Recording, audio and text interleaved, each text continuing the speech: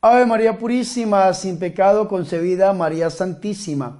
Mis hermanos y mis hermanas, Dios les bendiga, la Virgen María les guarde siempre, con su amigo sacerdote y servidor el Padre Bernardo Moncada. Bienvenidos a mi programa La Buena Nueva, para hoy viernes penitencial, viernes 10 de febrero. Hoy celebramos la memoria obligatoria de Santa Escolástica, la hermana de San Benito y yo los invito a que escuchemos la buena nueva.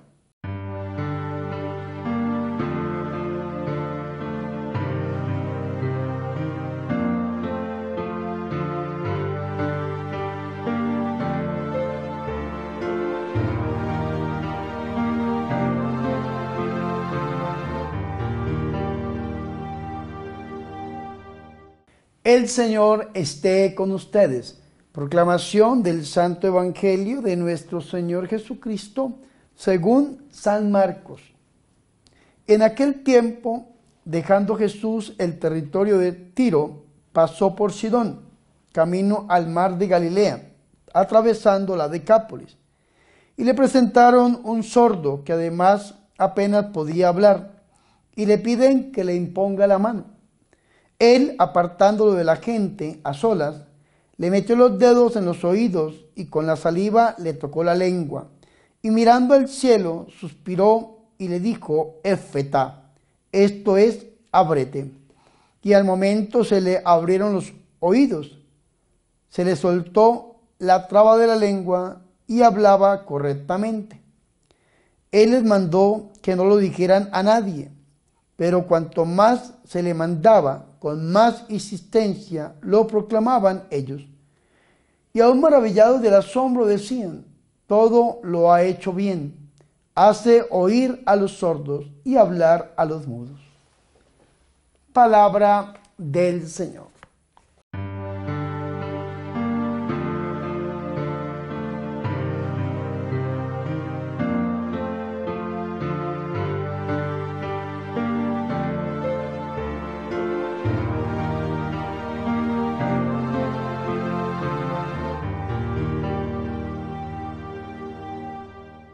Mis hermanos y mis hermanas, qué alegría para nosotros escuchar la palabra de Dios, el Santo Evangelio, la Buena Nueva, para hoy viernes penitencial 10 de febrero.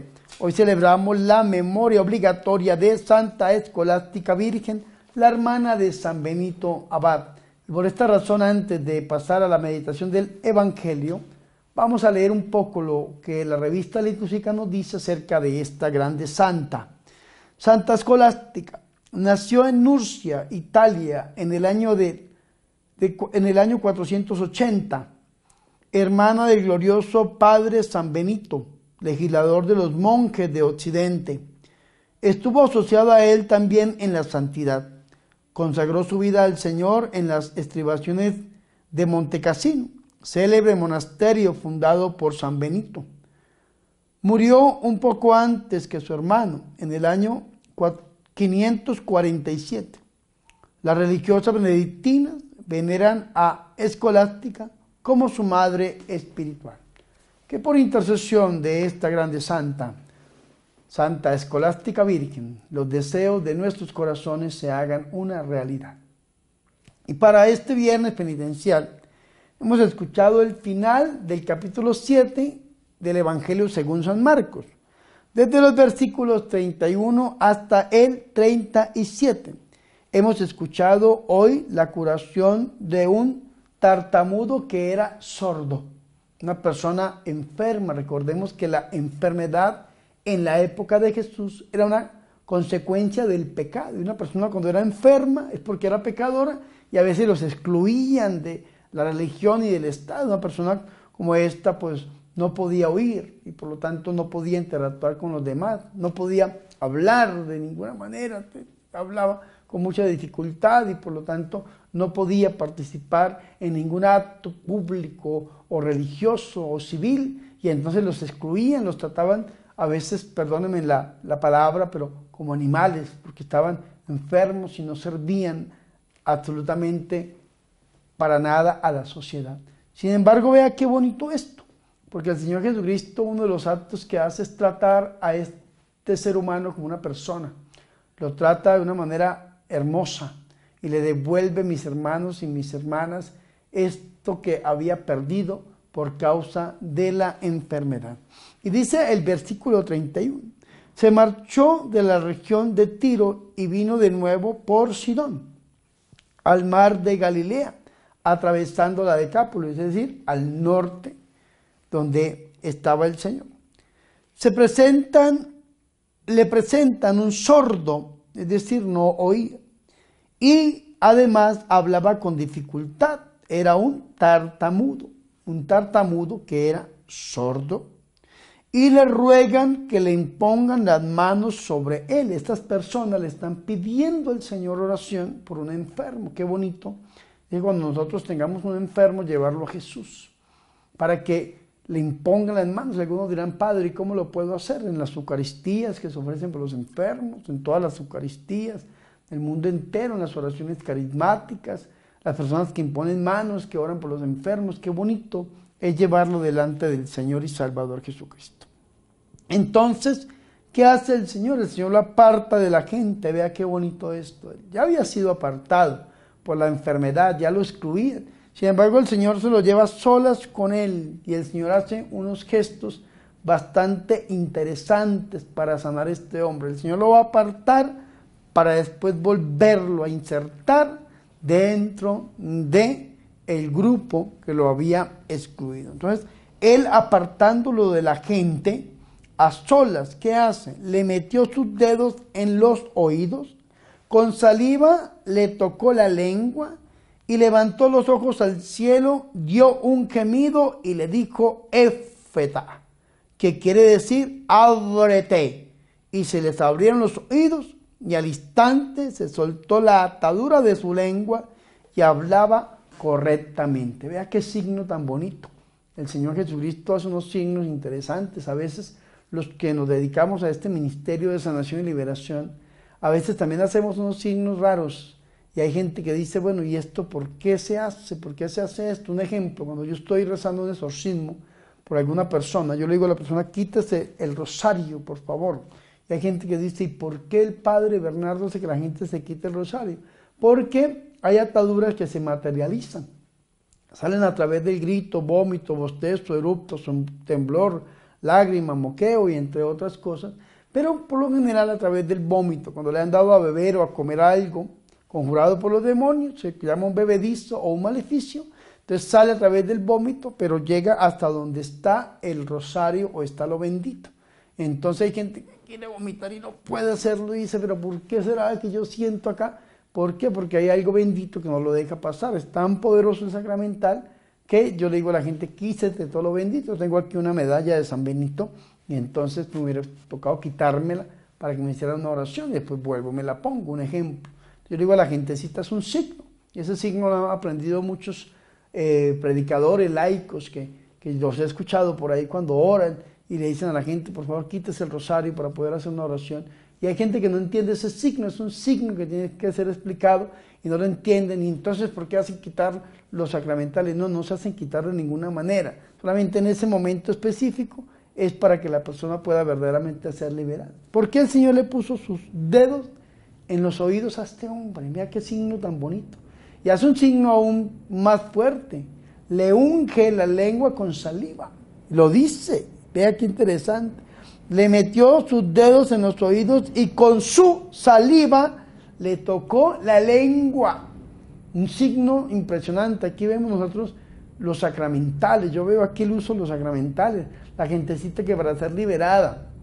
Entonces uno le dice, vea, tómese eh, agua exorcizada, sal exorcizada, aceite exorcizado, mezclos y tómeselo, se haga la oración de liberación. Eso es un, un sacramental que la Iglesia Católica tiene instituido dentro de los sacramentales de la iglesia, encontramos estos consumibles que tienen una bendición especial, una bendición que ha sido una bendición invocativa sobre estas criaturas y entonces guardan la bendición de Dios y sirven para la liberación. Entonces vemos nosotros aquí que el Señor Jesucristo nos enseña a usar los sacramentales en la liberación. ¿Y qué hace el Señor? Le tocó la lengua. Y levantando los ojos al cielo dio un gemido, es decir, pronunció una palabra ¿Cuál es esta palabra? Esta palabra es éfeta. Vea qué bonito signo. El Señor le impone las manos, le toca los oídos y pronuncia una palabra. ¿Por qué? Porque todo gesto va acompañado por la imposición de las manos. Un ejemplo, los sacramentos, en la Iglesia Católica, todos los sacramentos tienen el, signo de la imposición de las manos. Un ejemplo, cuando uno está confesando y va a darnos la absolución, entonces imponemos la mano sobre el penitente, y, pero esta imposición de manos va acompañada por una oración. ¿Sí? Lo mismo pasa, digámoslo, mis hermanos, en, el sacramento de la confirmación, cuando el obispo impone las manos, o el bautismo, los diferentes tipos de sacramentos, siempre va acompañada la imposición de las manos, pero la oración es diferente, ¿sí? la forma o la fórmula es diferente, entonces se le imponen las manos y, y, se pronuncia. En la oración está la intención de la oración. Por esa razón, cuando una persona laica o sacerdote impone las manos sobre un enfermo, es bonito que diga una palabra, no solamente se quede callado y poniendo las manos, sino cuál es la intención que tiene esta oración, sanación, liberación, bendición o la intención que tiene la persona en el corazón. En este caso, el Señor, la intención era que sus oídos se abrieran, que su lengua se soltara y por eso toca sus oídos, toca su lengua, pero le dice, éfeta, ábrete.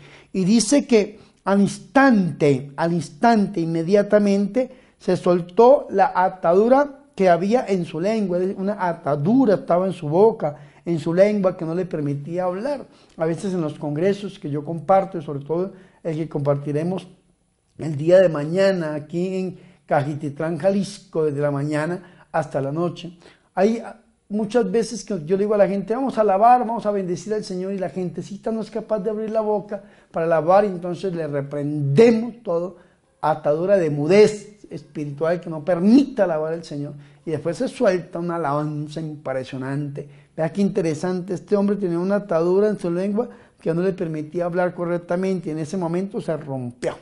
Y entonces el Señor Jesucristo les manda, les pide el favor que no se lo cuenten a nadie, a nadie. Esto se llama el silencio mesiánico dentro del Evangelio de San Marcos, ¿no?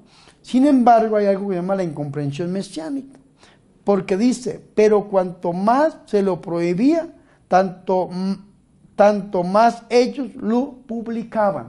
Es decir, lo daban a conocer, ¿no? No hagan esto y, y la gente hacía lo contrario. El silencio mesiánico acompañado de la incomprensión mesiánica. No entendían a Jesús de Nazaret.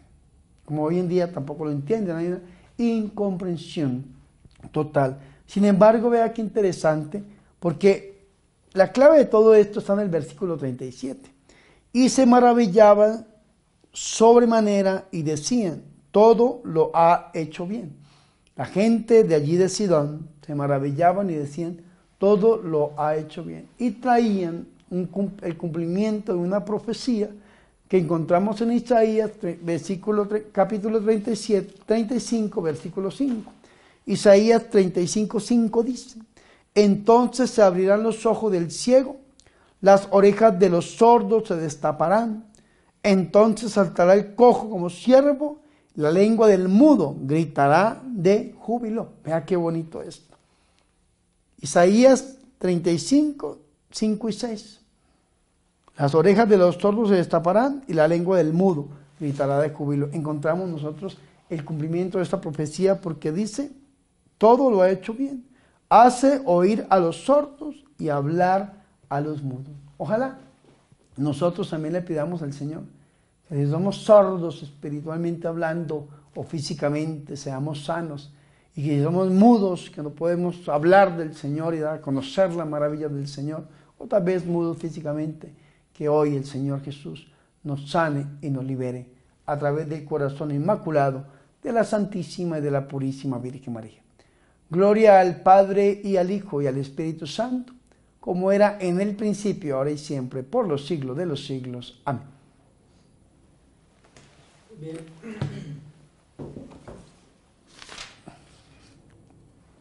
Tres, dos. Ahora mis hermanos y mis hermanas, yo los invito a que hagamos oración. Señor, te damos gracias porque nos concedes una vez más la oportunidad de escuchar y meditar tu palabra. Envíanos tu Santo Espíritu para que acogiéndola con disponibilidad y sencillez de corazón, ella pueda transformar nuestra vida. Virgen María, Madre de Dios, ruega e intercede por nosotros. Amén.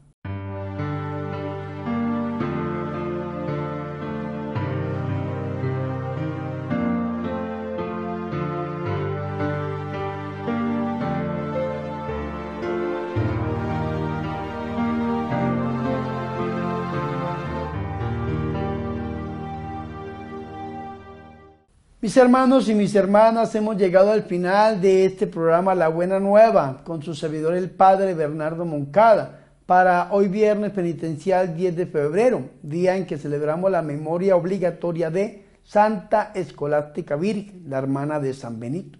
Le pedimos al Señor que nosotros hoy podamos también alabarlo, que podamos hoy escuchar su palabra y podamos darlo a conocer a todo aquel que se encuentre en nuestro camino mis hermanos y mis hermanas, antes de irme, yo les recuerdo tres cosas. Primero, si Dios lo permite, mañana 11 y pasado mañana 12 estaremos predicando en Jalisco, en México, en Cajititlán, Jalisco, a 40 minutos del aeropuerto, en el fraccionamiento Tres Reyes. Sábado y domingo, un hermoso evento donde le pediremos al Señor que abra los oídos de los sordos suelte la lengua de los mudos, haga sanaciones, liberaciones, signos, prodigios, milagros en todo aquel que llegue a este lugar. Recuerden, 11 y 12. Algunos dirán, Padre, me acabo de enterar, quiero saber dónde más va a estar. Pues el siguiente fin de semana, 18 y 19 de febrero, estaremos en el mismo lugar, compartiendo un evento por los enfermos y por los oprimidos. Por favor, no dejen de asistir porque las bendiciones van a ser muchas. Los cielos se abrirán su gloria se derramará sobre todos aquellos. ¿Y por qué? Porque Dios escucha. Cuando el pueblo de Dios lo invoca, Él escucha la oración. Segundo, le recuerdo, por favor, suscríbase a mi canal de YouTube, Padre Bernardo Moncada. Regáleme su suscripción y comparta este canal con sus familiares y con sus amigos. Tercero, si usted se alimenta espiritualmente de este canal y de este carisma, yo le invito a que se una también a la campaña Un dólar para la evangelización. Queremos seguir adelante con nuestro ministerio. Hemos tenido vientos en contra, muchos vientos en contra, pero queremos seguir adelante con nuestro ministerio y por esa razón acudimos a su generosidad. Yo le pido lo mínimo, un dólar para la evangelización. Recuerden que estamos construyendo la granja La Inmaculada, estamos evangelizando por las redes sociales y los diferentes medios de comunicación, Estamos llevando las misiones por el mundo entero y la caridad cristiana a familias y personas que tanto lo necesitan, pero necesitamos que usted se una con su ofrenda con un dólar a través de todos los medios digitales que hemos puesto en pantalla. Ustedes nos pueden hacer llegar esta ofrenda voluntaria. Algunos dirán, Padre, y si yo quiero darle más de un dólar, ¿lo puedo hacer? Si está en su corazón hacerlo, hágalo. Y en el nombre de Jesús le agradezco. Y yo oraré por ustedes para que el Señor los bendiga siempre al mil por uno. Y no siendo más, quiero impartir la bendición. El Señor esté con ustedes. Y la bendición de Dios Todopoderoso, Padre, Hijo y Espíritu Santo, descienda sobre ustedes y permanezca para siempre. Amén. Por favor, recen por mí. Recuerden que yo soy el Padre Bernardo Moncada, su amigo, su sacerdote, que yo soy su servidor.